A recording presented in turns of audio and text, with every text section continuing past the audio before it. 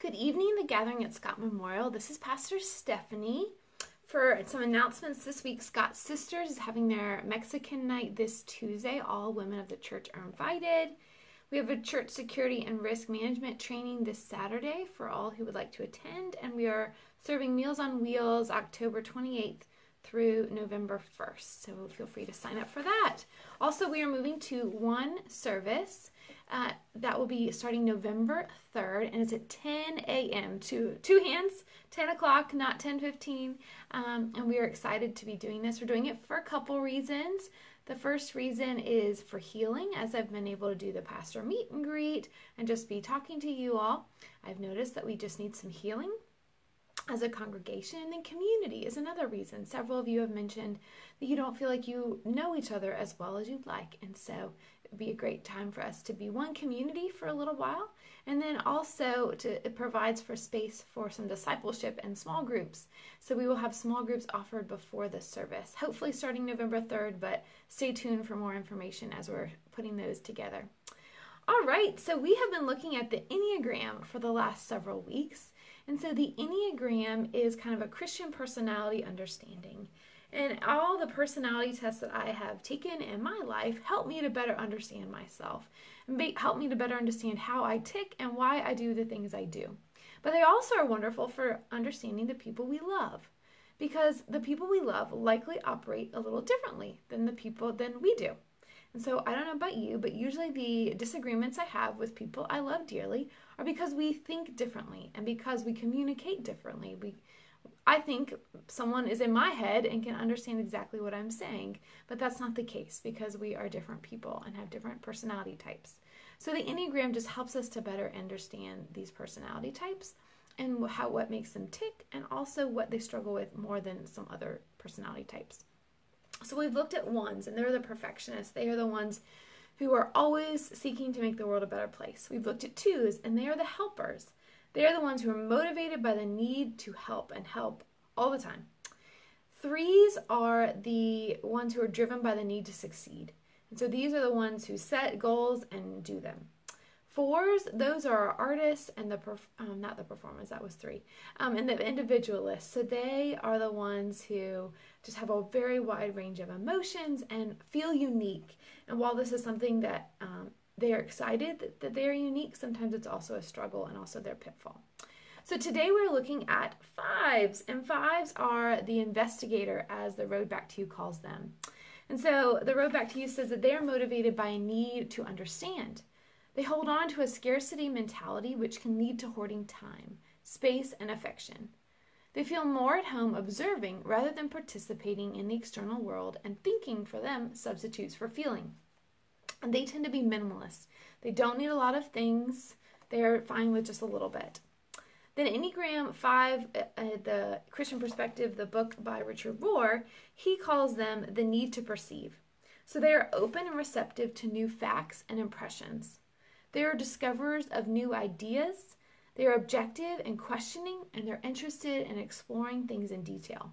And they are good listeners because they pay very close attention to detail but they often feel empty and long for fulfillment. Now, fives per. Oh, let me read to you what it feels like to be a five from the road back to you. And so, this is what it's like to be a five.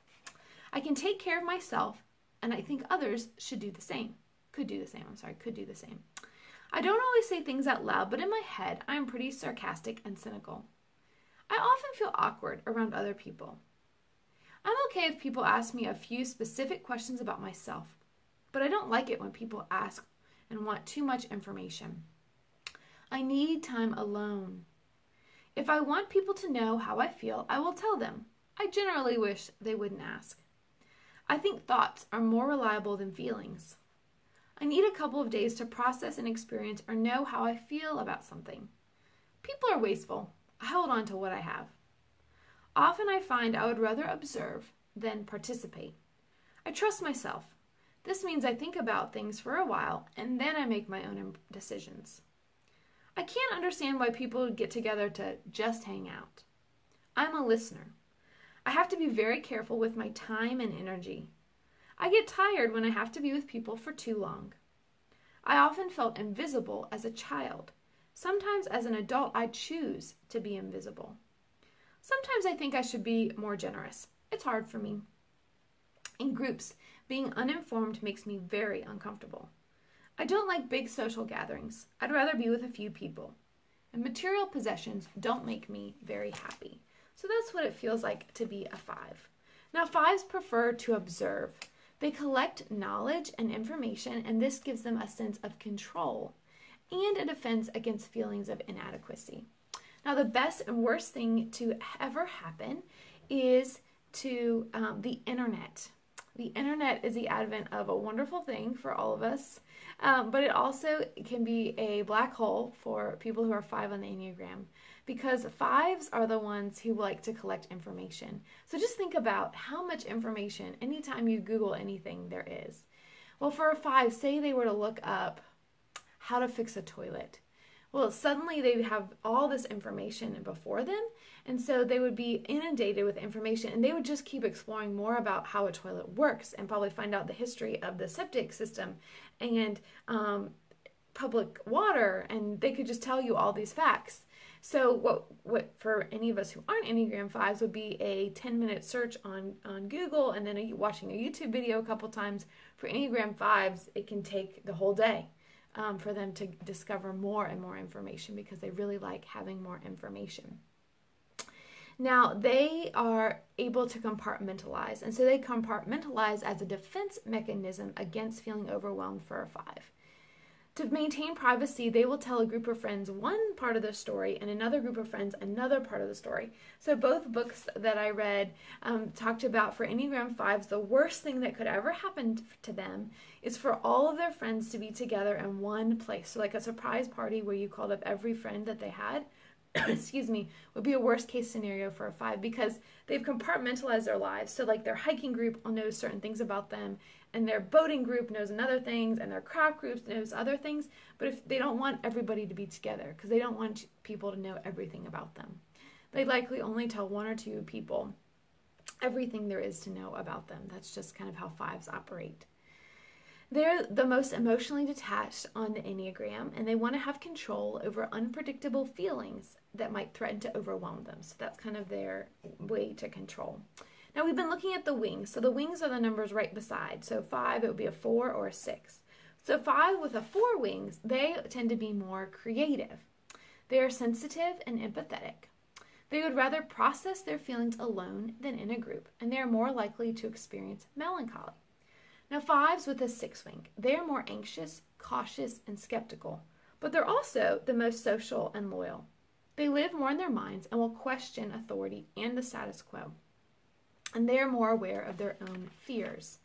And then we've been looking at the stress and security numbers. So, stress are what Enneagram 5s revert back to. So, that's when everything is going, seems like it's going wrong in your life. So, you are stressed at work, you and your spouse are fighting, your kids are not living up to what you are hoping at the moment, you're not sleeping well, you're not eating well, you're not exercising.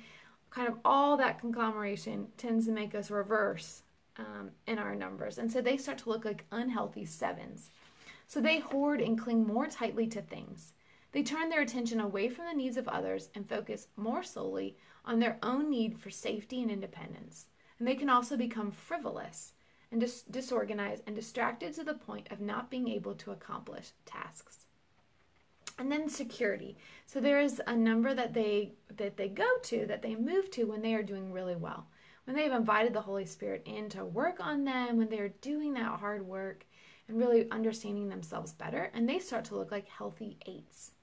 And so they become more spontaneous and more outspoken and physically present. Oh, I forgot to admit to say. So um, it's good to see you, Kendra. Thanks for watching. So, those who are um, Enneagram 5, they are part of the head group.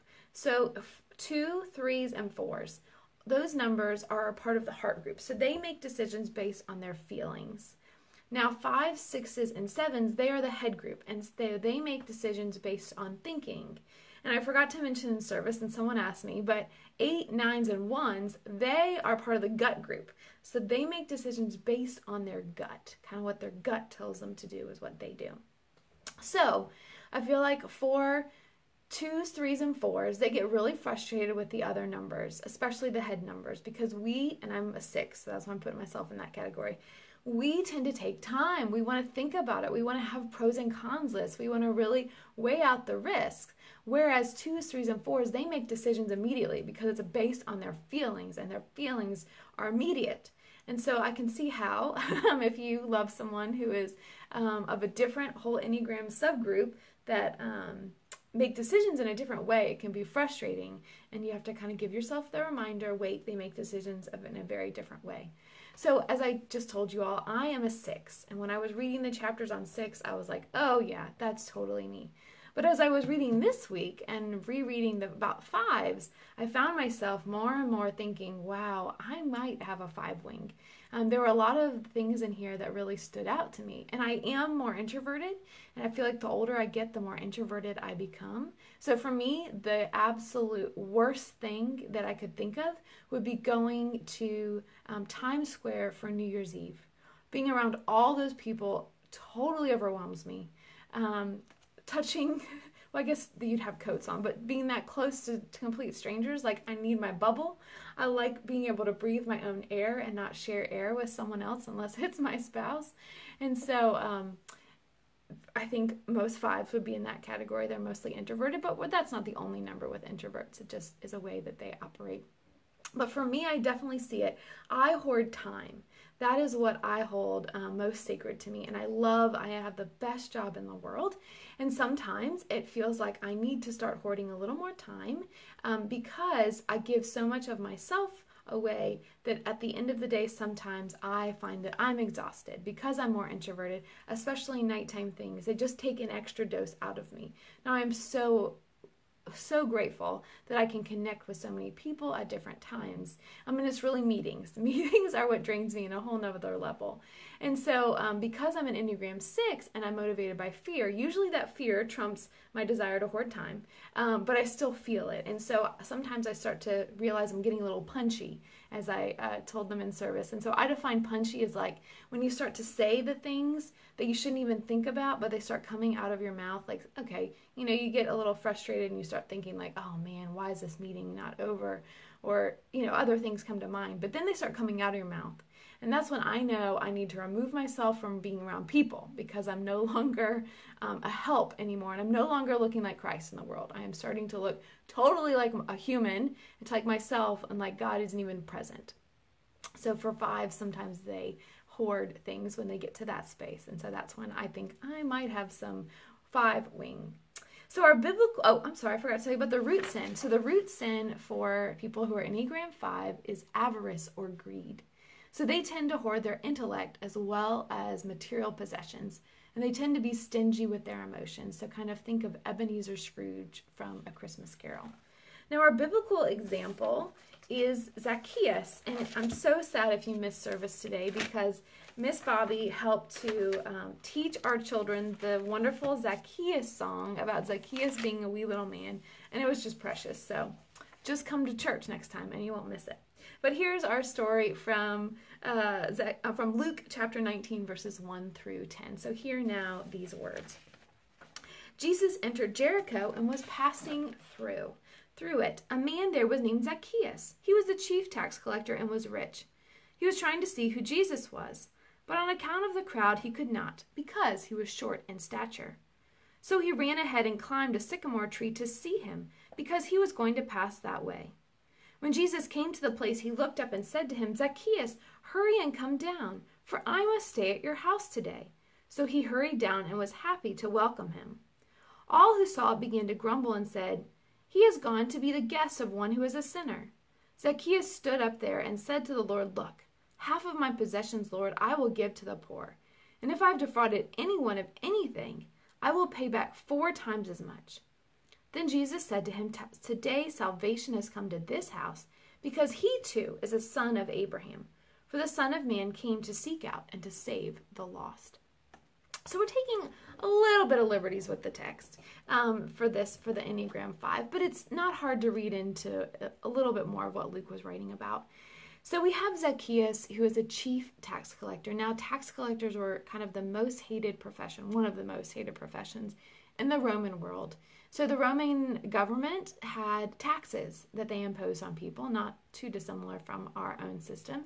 But the tax collectors, they were permitted, they were allowed by law to take extra. That was how they made their money.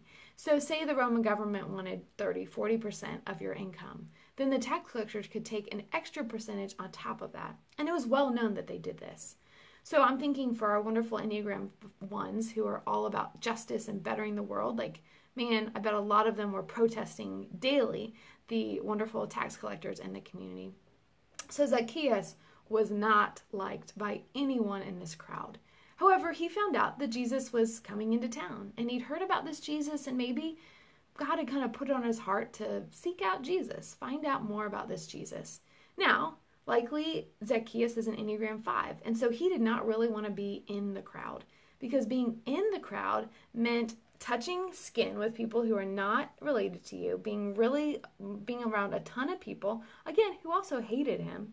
And so he did not really want to be right among all the people and being more introverted. So he happened to see a tree. He was also shorter. So he found a tree and he climbed up in that tree. Now, the wonderful thing about being up there is he could think, he could look around without being noticed by a lot of people. Like it's the perfect place to people watch. I'll enjoy people watching. So I imagine Zacchaeus had a great vantage point for people watching. And Jesus happened to come by. Now, like we're not told that Jesus and Zacchaeus had ever met before. But Jesus walks by and happens to look up and call out by name Zacchaeus. Now, we know that Jesus is the Son of God. And so we see Jesus doing this, especially in the Gospel of John. But it's just a beautiful reminder that God, that God through Jesus Christ, saw exactly into Zacchaeus and called him. And so Jesus said to him, Zacchaeus, hurry and come down, for I must stay at your house today. Now, for people who are Enneagram 5, their house is their fortress. Like that is their sacred place. And they're very careful about who they allow into their house and who they don't. Because to allow someone into your house means to allow them to see exactly who you are, and they like to compartmentalize. So they have to really trust you to invite you into their really sacred place. I mean, it's sacred for all of us, but it's a different, kind of a different level of um, privacy for people who are Enneagram 5, and that's a big deal for them. So he immediately um, submitted. He agreed to Jesus' request to stay at his house. Jesus knew he probably wasn't going to be invited over. And um, everyone in the community wanted to invite Jesus over because Jesus was known for healing and teaching and knowing that you were near the kingdom of God. I mean, to be around Jesus, I just can't imagine that peace. So everyone wanted him to come to their house. But here Jesus said, Zacchaeus, I am coming to your house today. So people grumbled, as we see in scripture, like we still do today. They found out that Jesus was going to Zacchaeus' house, and remember, all of them wanted to go. And suddenly they are a little upset because this is like the worst sinner of all the sinners the chief tax collector, the one who has stolen from all of them. And Jesus is going to his house. So they say, let's see, what do they say? He is going to be the house of one who is a sinner. And so Zacchaeus heard this because they probably weren't quiet. And he stood there and said to Jesus, Look, half of my possessions, Lord, I give to the poor. And remember, he was rich. So this was a lot for him to give half of all that he had to the poor. And then he said, And if I've defrauded anyone of anything, which he was a tax collector, so he likely had done this, I will pay back four times as much. So not just what I stole, defrauded, but I will pay back four times as much. So immediately Zacchaeus was redeemed. As soon as Jesus started interacting with him, he took on a whole different demeanor. He was no longer worried about his privacy. He was no longer worried about hoarding his possessions, his wealth, but now he was willing to share and even make amends for the ways that he had failed to love his neighbors as he defrauded them.